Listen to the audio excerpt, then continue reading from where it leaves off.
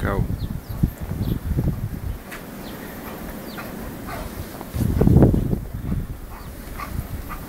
Chuck it in the air so we can catch it.